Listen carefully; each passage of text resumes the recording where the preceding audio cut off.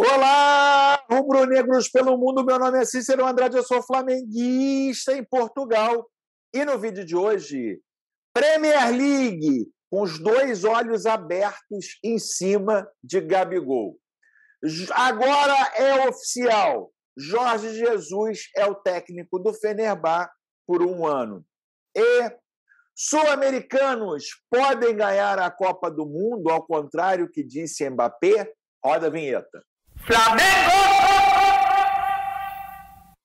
Se você chegou agora nesse vídeo, curta, compartilhe, divida com seus amigos. Não deixe de se inscrever no canal e acionar o sininho para receber notificações sobre os vídeos diários que fazemos sobre o Mengão, suas repercussões aqui em Portugal e na Europa de uma forma geral. Parceiro novo no canal Flamenguista em Portugal, seja muito bem-vindo à BR Forbet. A BR Forbet é o site de apostas que mais cresceu no Brasil no ano passado. Com a BR Forbet, você faz as suas apostas e se diverte vendo futebol. Há promoção especial na BR Forbet. No seu primeiro depósito, a BR Forbet dobra para você. Se você deposita 50 reais, por exemplo, você pode fazer a sua fezinha com 100. 100, 200. Eu mesmo fiz o meu primeiro depósito de 200 reais e estou a me divertir com 400 reais. Não perca tempo. Para você acessar a BR Forbet, link aqui no comentário fixado ou no QR Code aqui acima. BR Forbet é apoiador do canal Flamenguista em Portugal. Vamos lá, pessoal, muita coisa para a gente falar. Né? O Flamengo com uma semana de folga, uma semana de folga, é, dois dias e meio, né? numa folga meio esquisita aí dos jogadores, folga mesmo, tipo umas, umas férias. E ontem teve treinamento, teve treinamento noturno na Gávea, na Gávea não, no Ninho do Urubu, usaram os refletores pela primeira vez o Flamengo faz um treinamento noturno, né? E para preparação para o jogo contra o Fortaleza. Galera, queria contar para vocês ontem, numa insônia, eu até assisti Ceará e Fortaleza. Enquanto o Flamengo descansou, o Fortaleza ontem, com 18 minutos do primeiro tempo, começou a jogar com o Ceará com um homem a menos. Isso aí, galera.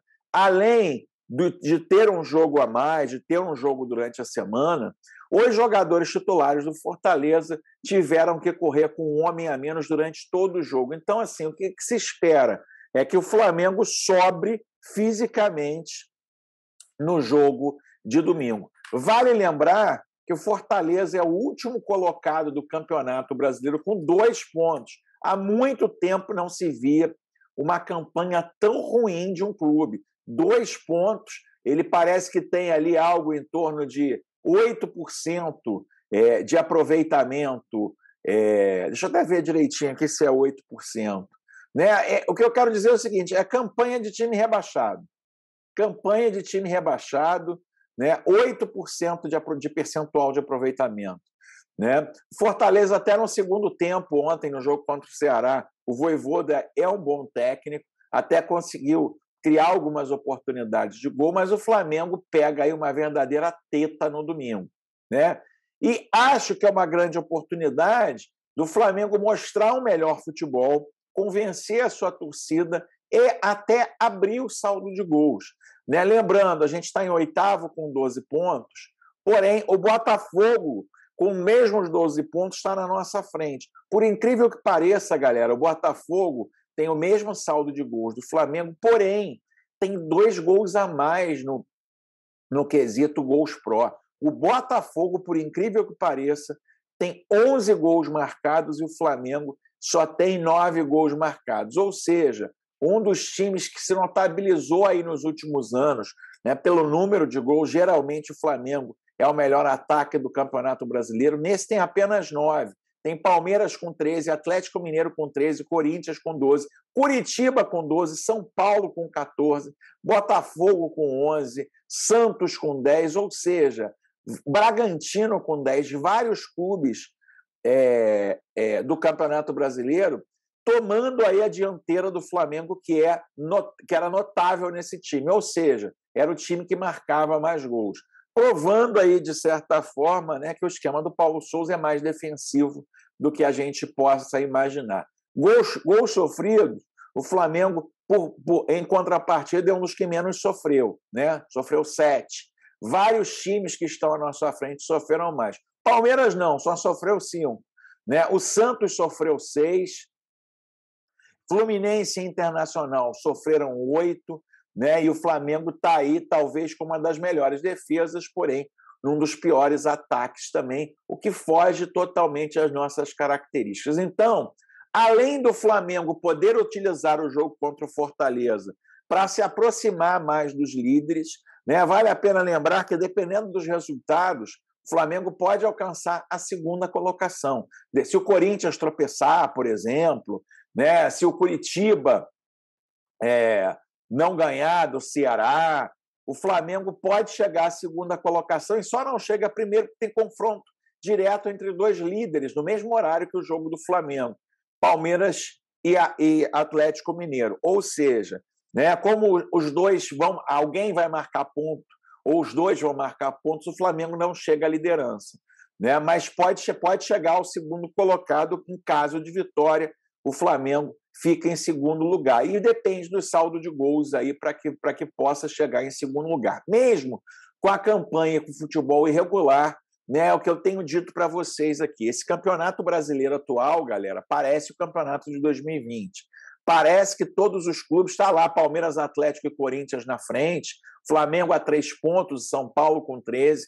Parece que os clubes não estão engrenando no Campeonato Brasileiro. Então, é uma oportunidade única do nosso Mengão tomar a dianteira. Em condições normais de temperatura e pressão, eu acredito se não fosse as bobeiras que a gente deu em alguns jogos, como no jogo do Atlético Goianiense, o empate esdrúxulo, mesmo no jogo contra o Ceará, outro empate esdrúxulo, né? É, as derrotas para Atlético Paranaense e Botafogo, né? nós poderíamos estar já liderando o campeonato, mesmo jogando muito abaixo com o treinador Paulo Souza, mesmo estando aí muito aquém do nosso potencial. Então, assim, vale a, vale a pena acreditar, porque podemos chegar lá. Né? Falando em treinador, galera, e falando em impossibilidade de título e vitória, há muito pouco tempo o Benzema disse que os sul-americanos não teriam muita chance é, de ganhar o Mundial, porque eles estariam abaixo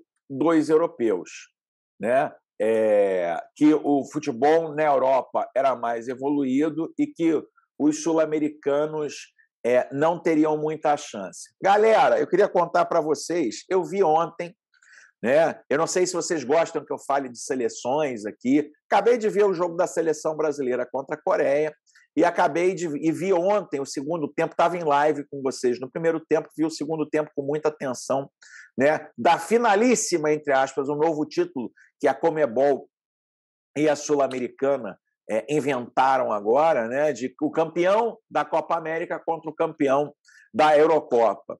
Né? A Argentina, meus amigos, do Lionel Scaloni, amassou a Itália. Dava pena da Itália, não sei se a Itália desmotivada pela não classificação para a Copa do Mundo. A Argentina encantadora, né? E aí você vê ontem o ressurgimento ou a ressurreição do Messi como o Messi jogou bola ontem.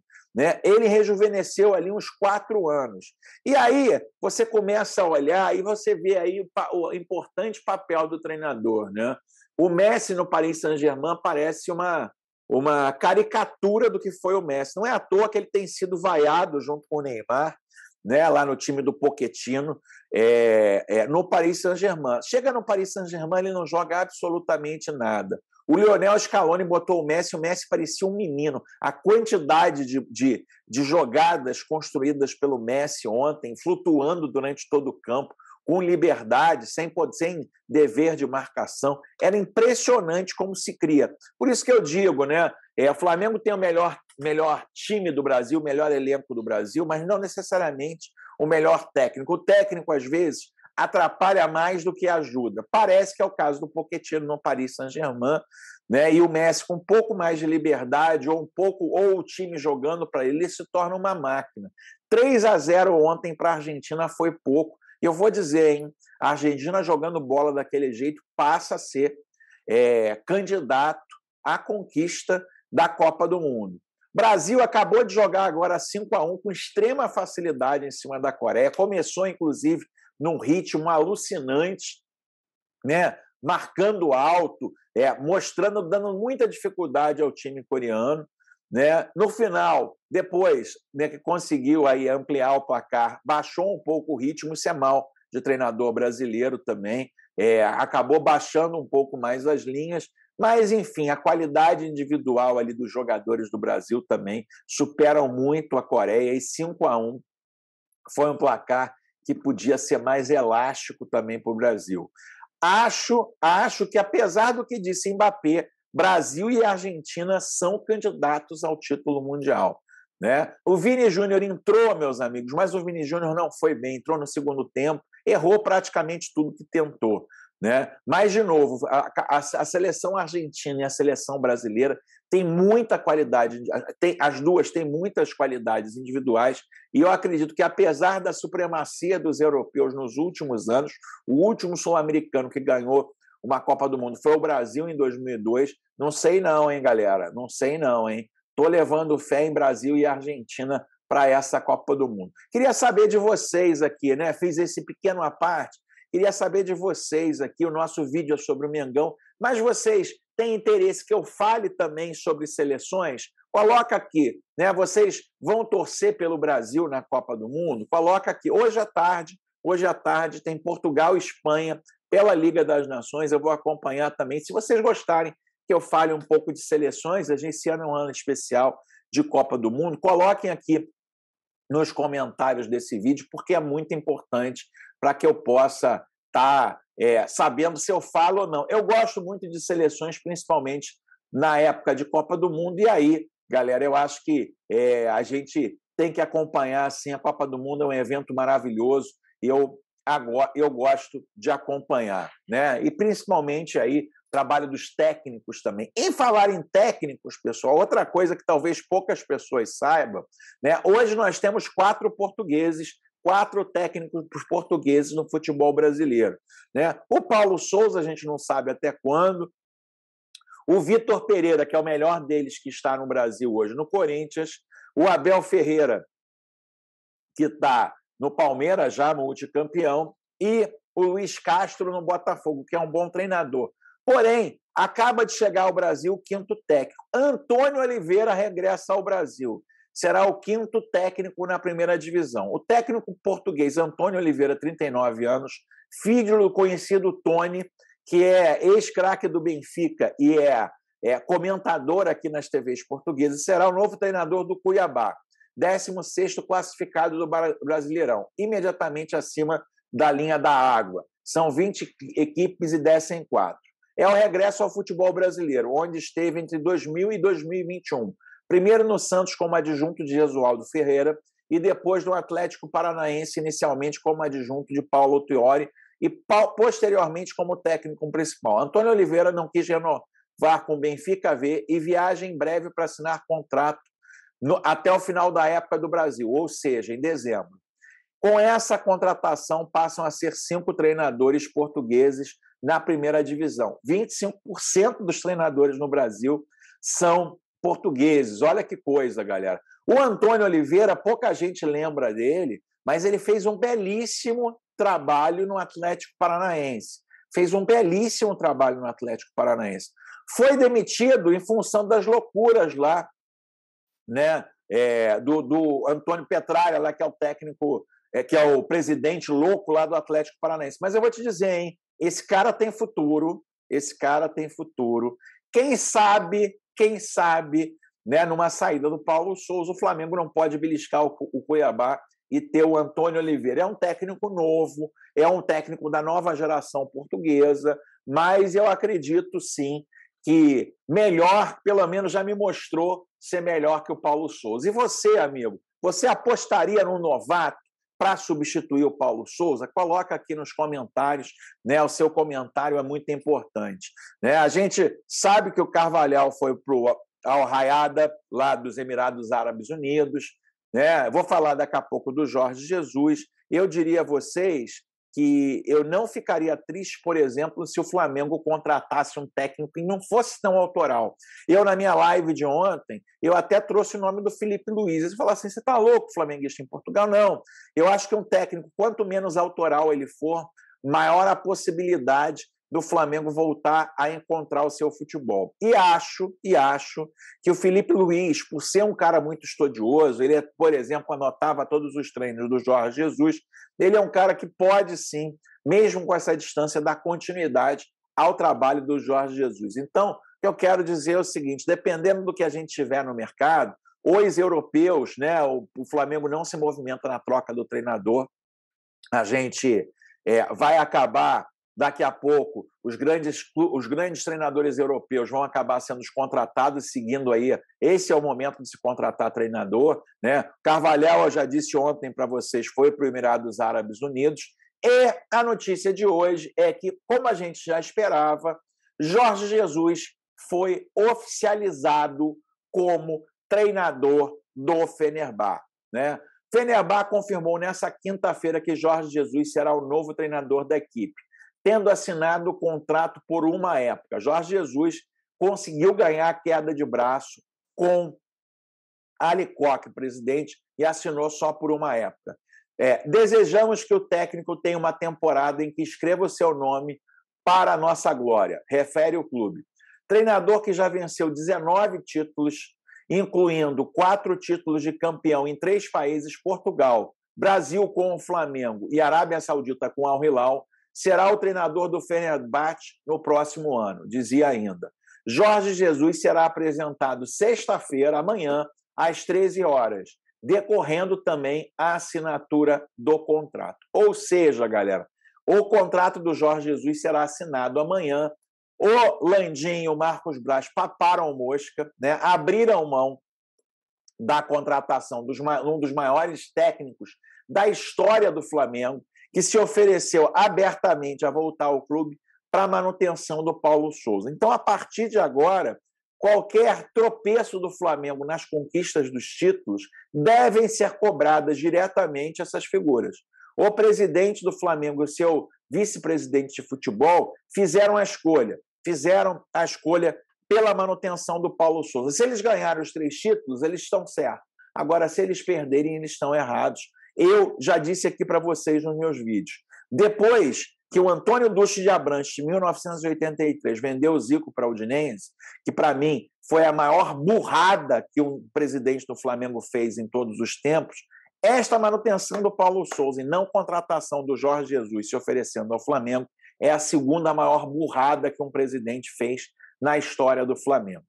Fenerbahçe, aí pelo, pelo, os turcos trazem mais, mais é, é, detalhes.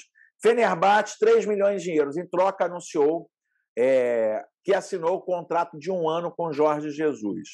Na, é, Fenerbahçe anunciou que chegou a um acordo com o técnico português Jorge Jesus para a temporada 22 e 23. No comunicado feito no site do clube, foi informado que o técnico de 67 anos vai treinar o time azul, amarelo e escuro na nova temporada. Afirmou-se que Jesus, que treinou Braga, Benfica, Esporte Lisboa, Al Hilal e Flamengo na sua carreira, conquistou um total de 19 títulos nacionais e internacionais. No comunicado, aí vou falar, aí vou, não vou ler de novo aqui. Salário, salário de 3 milhões de euros. Por outro lado, no comunicado feito na plataforma de divulgação pública do Fenerbahçe, ao referido que Jorge Jesus receberá uma taxa de garantia de 3 milhões de euros. Então, muita gente falando aí de 7 milhões de euros. Salário desse ano de Jorge Jesus será de apenas 3 milhões de euros.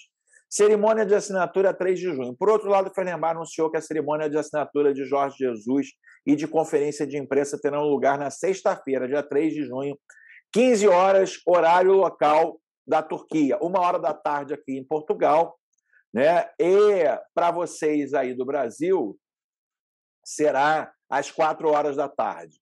Né? Foi o relatado, ou, quatro horas, oito, é, horas da manhã, foi relatado que a cerimônia de assinatura acontecerá no Ukin Stadium Fenerbahçe, é, Sport Complex Tribute, e, e será aberto aos membros da imprensa. O português Jorge Jesus, que foi nomeado treinador do Fenerbahçe, tornou-se o, o, o treinador número 77 do Fenerbahçe. Em 115 anos de história, o time azul-amarelo tiveram 39 treinadores estrangeiros e 37 turcos serviram o time de futebol até agora. É, o, a direção amarelo-azul escuro começou a época passada com o treinador Vitor Pereira e se separou do treinador português após imagem estável.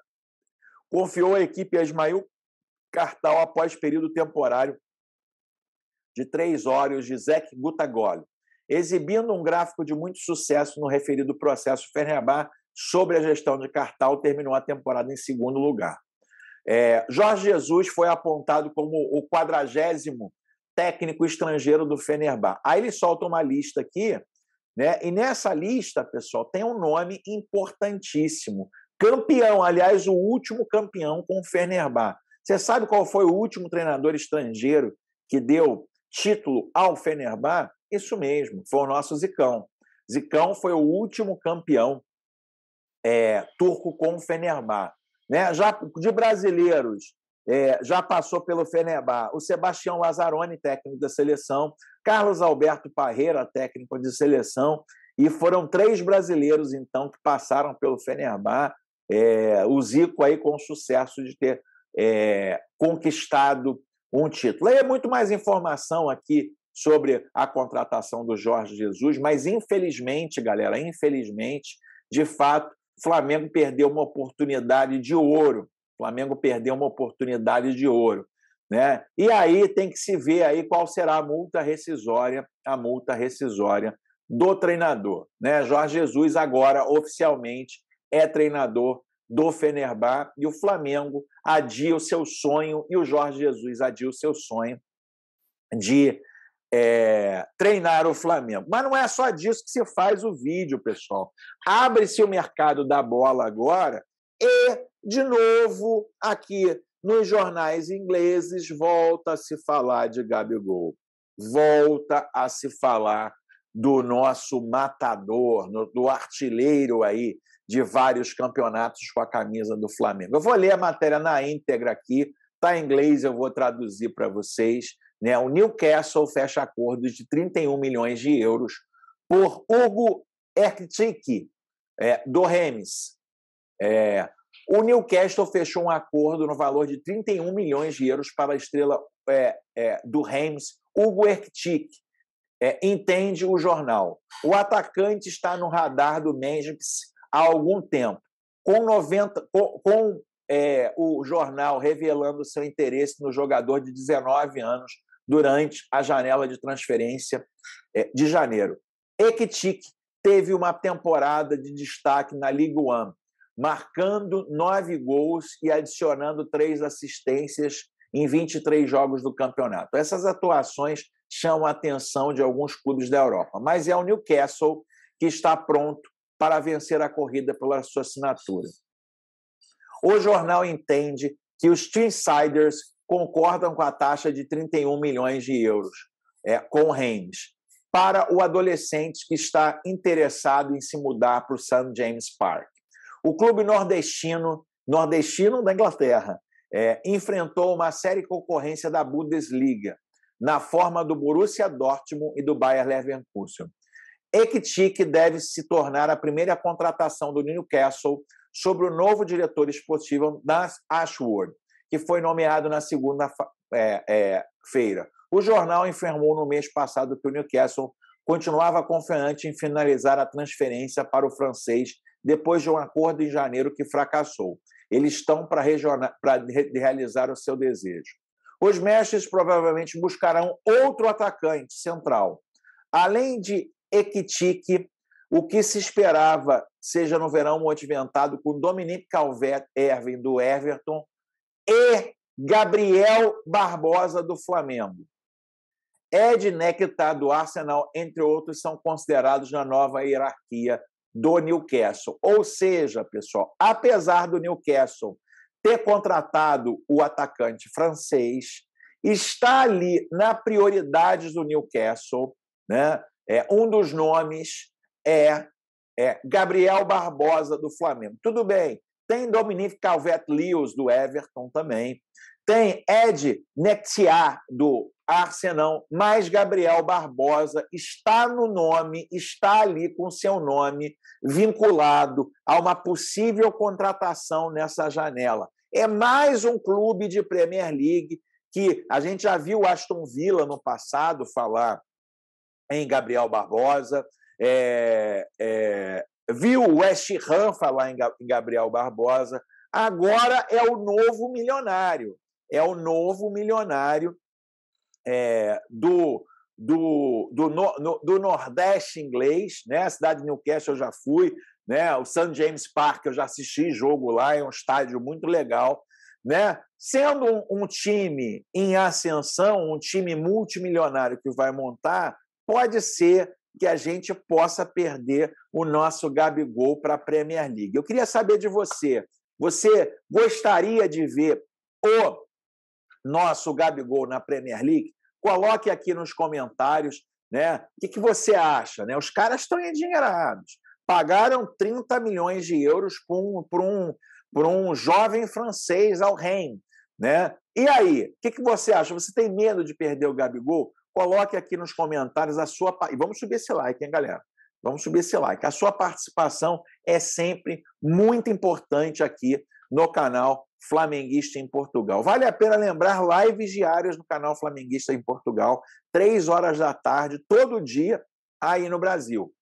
Ah, e se você é brasileiro como eu e vive no exterior, eu queria dar uma dica muito legal para você, para que vocês possam assistir os jogos do Campeonato Brasileiro. E quem mora no exterior, só quem mora no exterior sabe como é difícil, às vezes, procurar site pirata. Né, pra... Agora tem uma solução legal, maravilhosa para vocês, que é o Fanatics.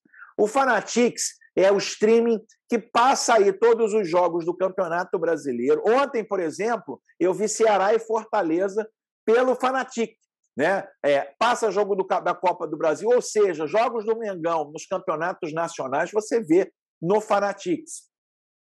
É, você é, paga apenas R$ 5,99 por mês e tem acesso a todos os jogos do Brasileirão, jogos da Copa do Brasil, tem campeonato argentino. Ontem também eu comecei a ver um jogo do Tolima, do campeonato colombiano também. Tem várias coisas interessantíssimas para o sul-americano que mora fora do Brasil. Ah, e você tem a primeira semana grátis. Você tem uma semana de teste grátis para testar o Fanatic, você não paga nada na primeira semana.